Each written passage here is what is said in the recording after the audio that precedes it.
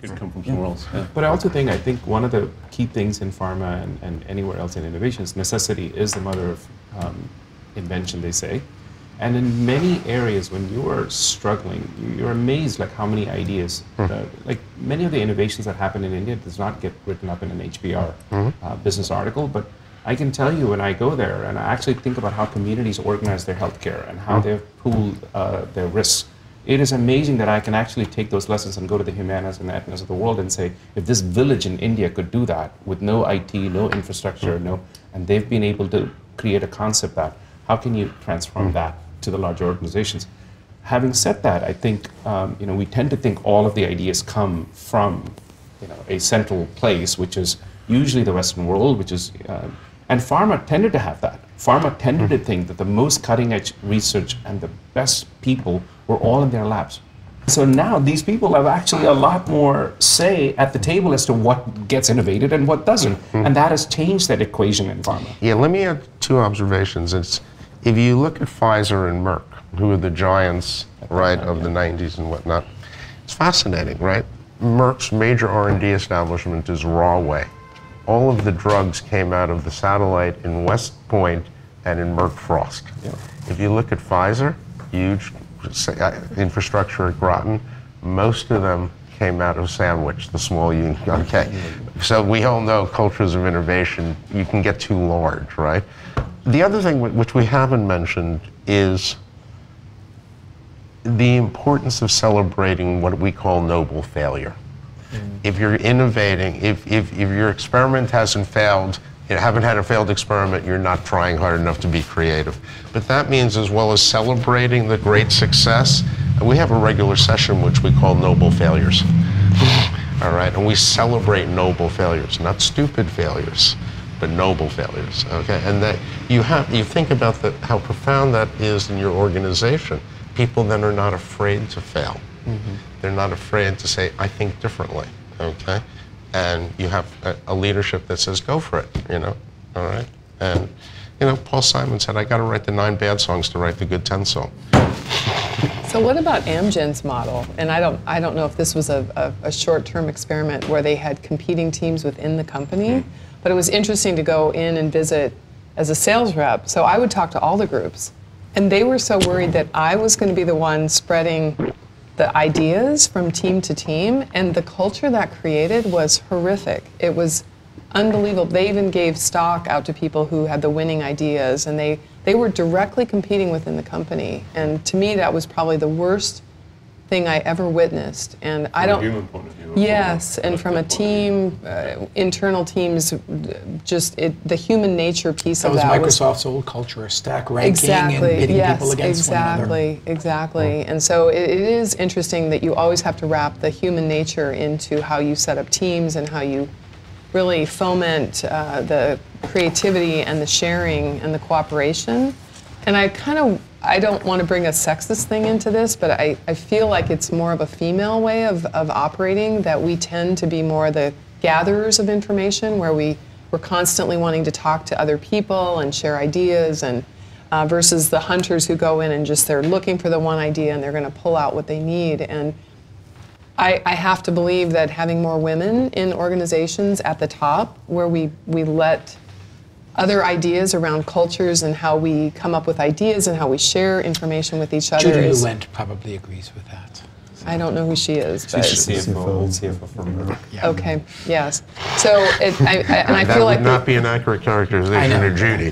Right. But I just I had to bring it up because I feel like there's there's opportunity in pharma also to be a little more inclusive of other ideas and other ways of looking at problems and how we solve problems. Yeah, it's clearly a gender thing, and clearly look, I mean, reflected cultural approaches, Exactly. you know, Yeah, well, the point that, geographical that Steve made, approaches. I, I just want to resonate off what you've said. The most important thing that you just har- uh, hit on is the inclusivity of that, right? The idea that failure, celebrated by anyone and everyone who's done it, is, is a much harder thing to, to sort of bring forward because it's that, that ability to participate in that kind of way that's so often lacking, right? And so finding, finding ways to get that more front and center and how we do what we do is got to And as women, we are we don't we're not entitled to fail nearly as much. We can't. It, it's we have to cover it up, or we have to be fearful of it, we're not allowed to celebrate it quite as much, I don't think. Isn't that just prevalent in a large organizational structure? Getting away from just calling it pharma, but any large organization. I mean, the mm-hmm. idea that as you progress through your career and you're, you know, 15 years in the industry, people are afraid of diverting and then failing hmm. because it has a direct career impact. It's just that's mm-hmm. just human nature. So it's a wonderful article um, in the Times last August by David Brooks. And in it, he talks about the difference between a career and a vocation.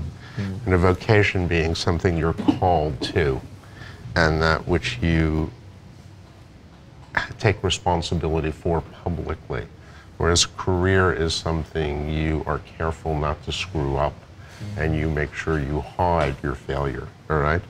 And that I think in certain of these industries, and I'll speak from biotech because I've been in, it since the early 1980s, which was pretty many at the beginning, it was a vocation, all right? It was a calling, all right?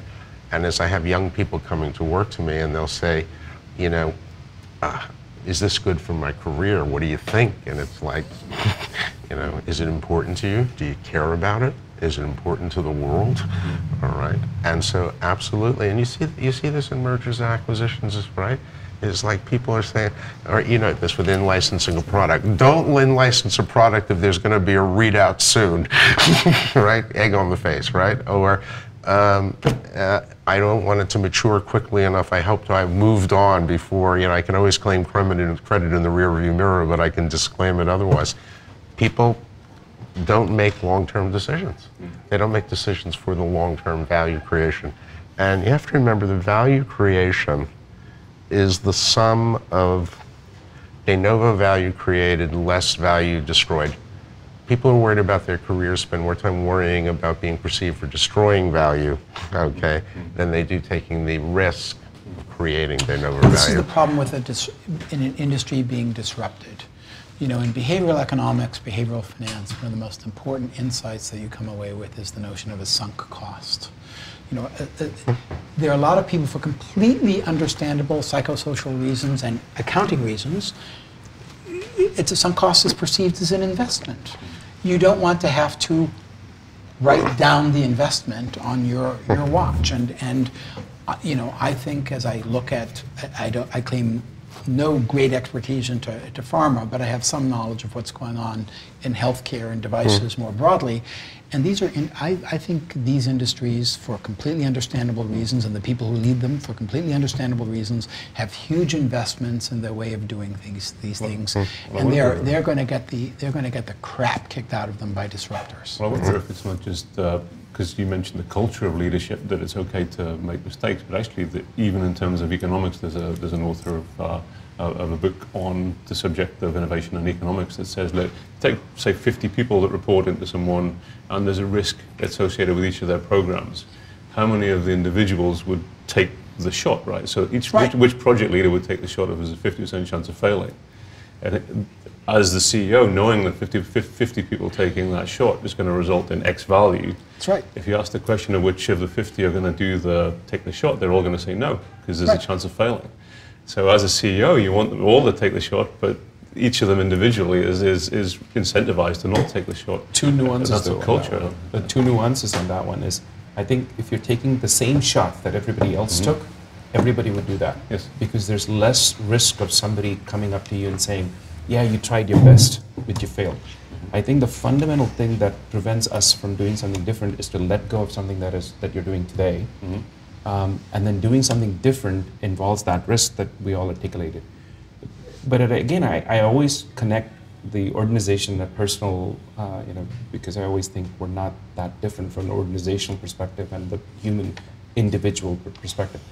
And we're an organization right now, we're not like as big as J&J or we're not as rich with lots of, we're very focused. But the question that really drives innovation within our company is, what the hell do we have to lose? Well, you know, it's, it's- you know, if you look at early stage drug discovery, if you do the classic business tool of the NPV or DCF analysis and the IRR, it always comes out negative. Right. Yep. And it's a function of the time and the possibility of success, right? And so if you have classically trained business people, they will never invest in R&D. They'll talk about early R&D being value destructive, right? in- and let me finish. but to me, the proper analysis uh, is what I call the relative upside. If we do this, what can it mean to us? Relative downside. And early stage stuff, it's not a very, it's not a very expensive. It's not going to kill you if you're substantial. And the other is what if we don't? What if we don't? And that comes to someone's going to come along and clean your clock if you don't.